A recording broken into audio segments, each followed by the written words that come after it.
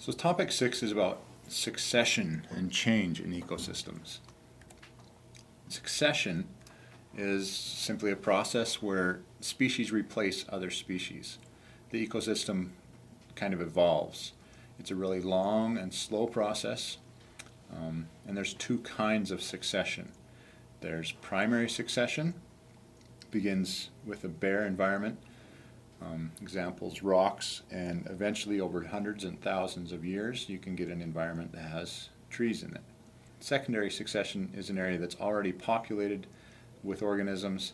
Something happens, many of the organisms are destroyed, could be a forest fire, and it's a regrowth of all those organisms back into the environment. So here's an example of primary succession. It starts with some bare rocks, and some organisms called lichen grow on the rocks. And the lichen absorb moisture that get trapped on the rocks and moisture from the air. Lichen's actually a symbiotic relationship between two species.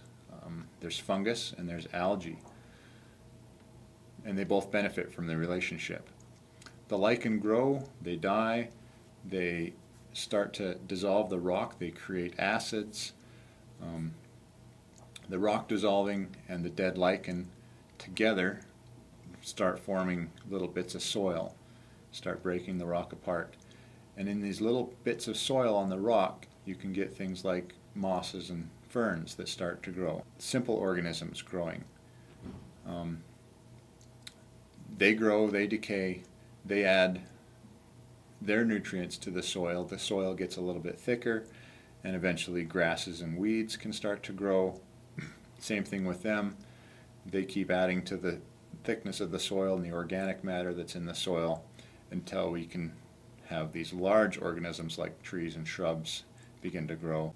And other organisms are attracted to the area, animals and more plants, and the ecosystem becomes very complex. Secondary succession is when we've already got an ecosystem that's established with lots of different organisms. We're going to take a forest for an example here. The, we'll say that there's a forest fire that occurs. The trees all burn. They leave some tree stumps behind. There's lots of ash in the soil. And the first organisms to come back in this situation are the grasses and the flowers, the weeds. And same thing occurs. They continue to grow, they enrich the soil, and then eventually we get our forest back. Now something interesting about forest fires that your textbook talks about are two types of pine tree, the jack pine and the lodgepole pine. They actually have cones that rely on forest fires. In order for the seeds to be released from the cones, the cones have to get hot enough and pop open and then they can release their seeds. So cones that need forest fires are referred to as serotinous cones. Kind of interesting. So we've talked about natural changes. Now we're going to talk about changes caused by humans. What happens when humans cause changes to the environment? Humans cause changes in many ways. Uh, just a few of them here. Forestry, we cut down forests, clear them out, don't leave much behind. Sometimes we replant. Um, agriculture, we clear land to plant, grow crops. Um, we build urban areas, lots of big cities, build highways, and parking lots, another way that we cause physical changes to the environment. Now, when we change the environment, we change the species that can actually survive in that environment. And that's a really important idea here because some species can adapt better than others. Um, an example here is the brown-headed cowbird. It adapts well to open spaces and it starts to push out the natural species that live in the area. Um, it lays its eggs in the nests of warblers and, and vireos and the baby brown-headed cowbirds um, are louder, they eat more, they grow faster, and they end up pushing out the chicks of the warblers and the vireos out of the nests, and they survive better so the warblers and the vireos can't survive in the environment as well. Another species that adapts pretty well to change versus some others is the coyote. The coyote's got a pretty close relative, the wolf, but you see coyotes in around urban areas a lot more than you do see wolves because they're better adapted to change. The wolves are more sensitive to the environmental changes and we don't see them around populated areas as much as we do coyotes, although they are quite similar animals. Another way that humans affect the environment is through pest control. We talked in topic two about DDT and its harmful effects to the peregrine falcon. Um, here we want to talk about a different type of pest. Um, this is the lygus bug. Now the lygus bug is an insect that feeds off of alfalfa and canola crops and it destroys these crops. Now we can control the lygus bug by spraying pesticides, but the pesticides we use to spray lygus bugs will also kill things like bees. Um, another thing the pesticides can do is they can actually harm the predators of the lygus bug themselves, other insects that eat the lygus bug. And without the predators around, then the lygus bug actually increases its population. So spraying to kill the lygus bug can actually increase the population of the lygus bug if you're also killing its predators at the same time. So what's a better way to control insects than just to spray pesticides all over the place? Uh, one method is called biological control. This is where we use um, natural enemies of the pest to control the pest. An example here is leafy spurge. This is a weed that was introduced. It's an exotic species and it grows really fast. It takes over pasture areas and unfortunately the cattle won't eat it. So it'll grow and grow and grow until the pasture land can't even be used anymore. So, and an introduced species, we also call it an, an exotic species, is one that's not native to the area. It was accidentally introduced, but it's continuing to grow and grow and it starts to take over whole entire areas. We control leafy spurge by introducing another species actually. Uh, there's a beetle that loves to eat leafy spurge and it kills leafy spurge. It's called the black dot spurge beetle. And in 1983 we introduced the black dot spurge beetle and it's successfully controlling leafy spurge in many areas. now, when we when we introduce new species, even if it's to do something like biological control and keep invasive species under control, there's always risks involved.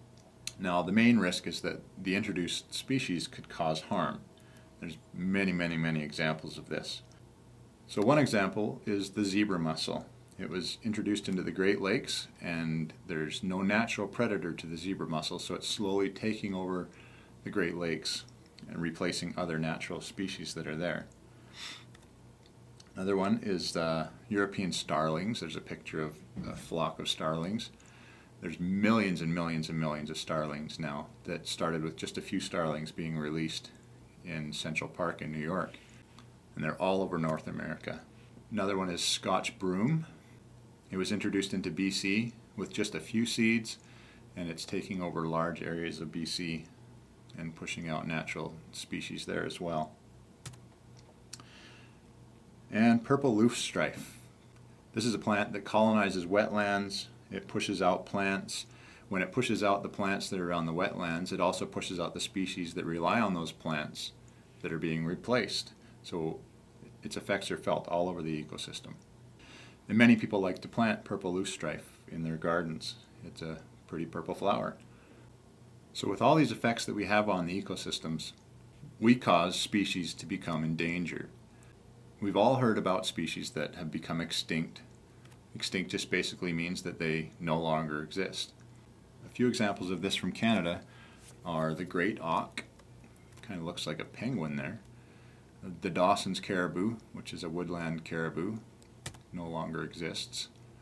uh, the sea mink, which is larger than the normal American mink that we think of, and the blue walleye, which is extinct from the Great Lakes. Now, the main reasons for extinctions, the biggest one is habitat loss, followed by introducing other species, overusing populations by overhunting or overfishing, um, polluting ecosystems, and also climate change is a big problem as well.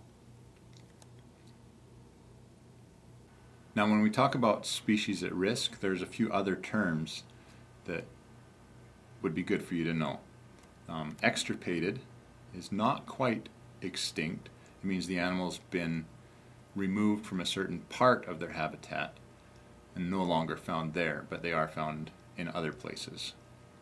Um, endangered as well, that's one that you've all heard of, I'm sure. They're endangered of becoming extinct or extirpated. A threatened species is a species that we're worried about, but not as seriously as one that's endangered. And a lower risk is vulnerable, and and a good category is recovering species that are recovering, like the peregrine falcon and the swift fox in Alberta. So, how can you help? What are some ways that you can help with these species at risk and environmental impacts? All, all the recovery programs depend on public's cooperation. When laws are made, when signs are posted, the public needs to obey them and, and realize that they're actually important in order to help animals that are at risk. An example of this is the burrowing owl. Its habitat needs to be protected. The landowners have to agree to protect the habitat because it's really all in their hands. If they don't protect the habitat, then there's no way that we can protect the burrowing owl. And another very important way that you can you can help out is to reduce your own ecological footprint. The larger your ecological footprint, the more resources and the more land you are responsible for using up, or the more land is required to keep you happy in your habits and your wants and your needs. So, redu- so reducing your ecological footprint is a great place to start. Well, in our next topic, we'll talk about uh, monitoring the environment and how scientists do that. Thanks for watching.